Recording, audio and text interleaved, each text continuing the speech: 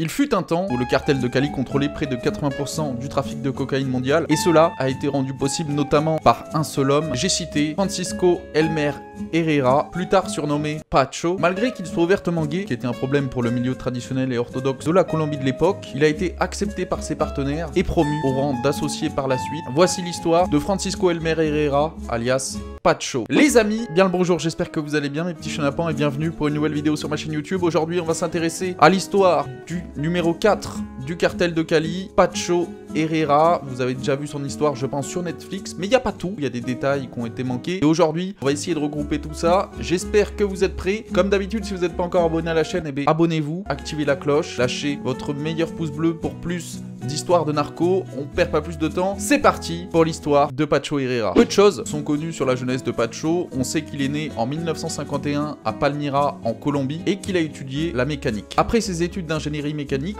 il a émigré vers New York en 1975 à la recherche d'un meilleur travail et d'un meilleur style de vie. Il va commencer à travailler pour une entreprise fabriquant des pièces d'avion et il était à l'époque payé 7 dollars de l'heure et ça lui convenait pas en fait à Pacho, il était pas vraiment épanoui. Il voulait quelque chose de plus grand. Depuis qu'il était jeune, il rêvait de s'occuper de bijoux. C'est pourquoi il a ensuite commencé à travailler en tant que bijoutier, puis s'est rendu compte qu'il y avait beaucoup plus d'argent à faire en trafiquant de la drogue. C'est le début de la carrière de dealer de Pacho. En 1975, il va se faire arrêter une première fois pour avoir trafiqué des petites quantités de cocaïne. Quatre ans plus tard, il se fait de nouveau arrêter, mais bizarrement, il a tout le temps été relâché, alors peut-être est-ce de la chance ou de la corruption? On ne sait pas. En tout cas, ce qui est sûr, c'est qu'en 1983, il va retourner en Colombie et va vite se faire enrôler par les frères Rodriguez. C'est ainsi que le syndicat est devenu connu sous le nom du cartel de Cali. Pacho, grâce aux ressources du cartel et ses relations aux États-Unis, il va très vite se mettre à superviser le trafic d'énormes quantités de cocaïne. Le cartel avait justement besoin d'une personne capable de gérer les villes américaines et Pacho était le choix parfait. Il a bâti son premier réseau de distribution dans une ville qu'il connaît bien, New York, et a créé à partir de là un réseau de cellules. L'idée en fait de ces cellules, c'est de camoufler tout le réseau et de permettre à chacune d'elles de fonctionner de manière indépendante et ainsi pouvoir échapper aux opérations de la DEA. Comme ça, par exemple, s'ils saisissent une cellule, et eh bien c'est pas tout le réseau qui est démantelé, mais juste une petite partie et ainsi le réseau peut continuer à fonctionner en étant indépendant. L'externalisation, toutes ces cellules étaient reliées entre elles en fait par l'intermédiaire d'un responsable de cellule, on appelait un Celano, qui rendait compte à un certain Roré Alberto Rodriguez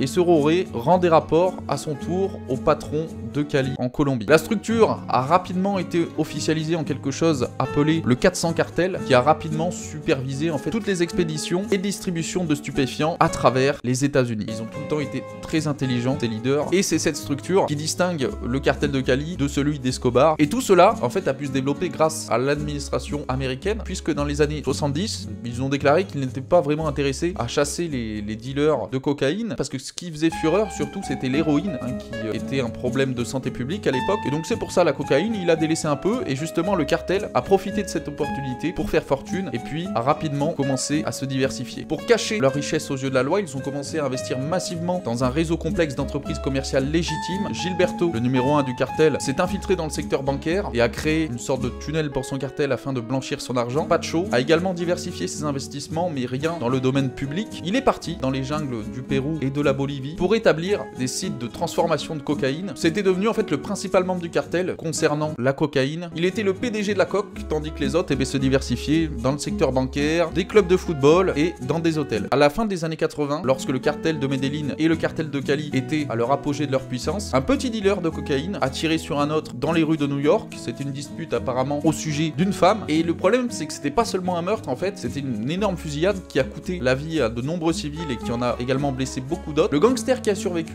appartenait au cartel de Cali et celui qui a été tué au cartel de Medellin. C'était en fait un des sicarios de Pablo Escobar. Cet homme savait qu'il serait traqué jusqu'au bout du monde par Pablo et il n'a pas eu d'autre choix que de demander à Pacho en fait sa protection pour lui sauver la vie de toutes les manières possibles. Lorsque la nouvelle de la fusillade a atteint Escobar, un contrat a été déclaré sur la tête du tireur de Cali. Peu après, la nouvelle qu'il était sous la protection de Pacho est arrivée aux oreilles de Escobar. Il demanda à ce que l'homme soit livré de bonne foi entre les deux cartels. Cependant, Pacho a refusé. C'est ainsi que furieux, Escobar a déclaré la guerre au cartel de Cali et a dit qu'il buterait tous ces fils de pute de Cali.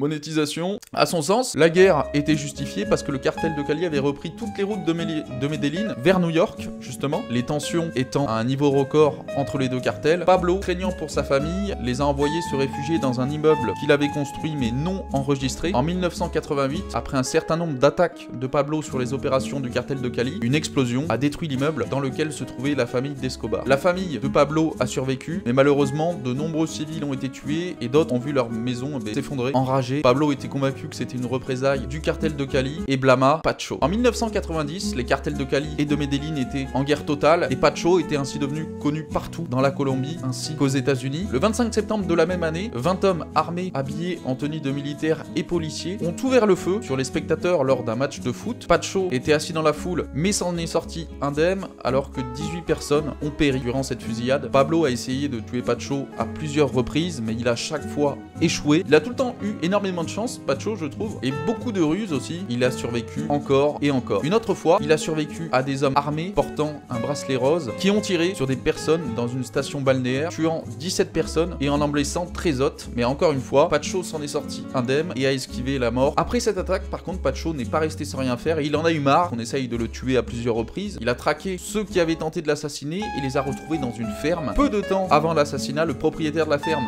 s'est fait la belle en laissant sa famille derrière lui. Super cool le type. À l'arrivée de Pacho, quand il n'a pas trouvé le propriétaire qui était en fait le responsable de tout ça, il a quand même exécuté tous les membres de sa famille. Il, s'est occupé du cas du propriétaire peu de temps après, comme quoi Pacho n'a aucune pitié, était sans remords et qu'il fallait pas le mettre en rogne, hein, parce que sinon ça chauffait. Et donc la guerre entre les cartels a fait couler beaucoup de sang, que ça soit entre eux ou des innocents. Mais Herrera ensuite a battu en retraite et a laissé le combat au frère Rodriguez.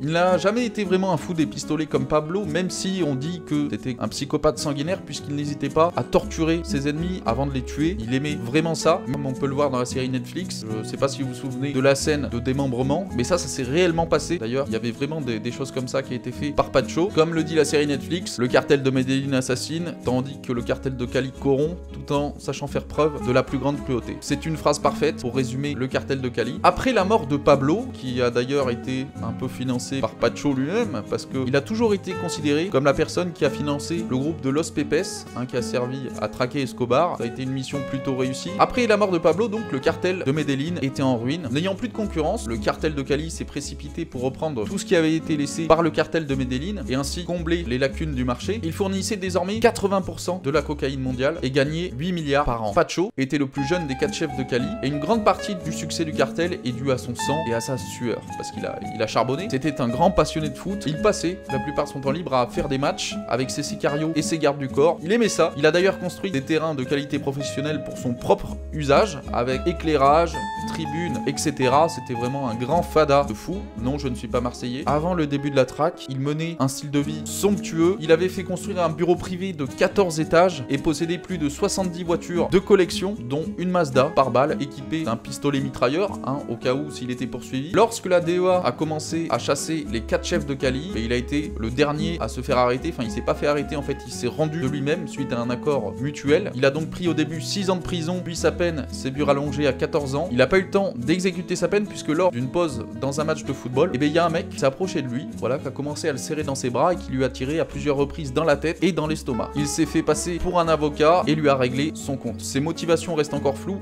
L'hypothèse la plus communément admise, c'est que en fait c'était le cartel du Norte de la vallée qui cherchait à faire le ménage, tout simplement. il est clair en tout cas que durant son activité, il a dû se faire beaucoup d'ennemis, hein, parce qu'un baron de la drogue finit rarement ses jours paisiblement. En tout cas les amis, c'est tout pour l'histoire de Pacho. J'espère qu'elle vous aura hein, qu'elle vous aura intéressé, même si, comme j'ai dit, elle était dépeignée dans la série Netflix. J'espère que cette vidéo vous aura plu. Si c'est le cas, n'oubliez pas le petit pouce bleu. Et moi, je vous dis à très vite pour une prochaine vidéo. C'était votre cher Spirit. Bisous, ciao, bye bye.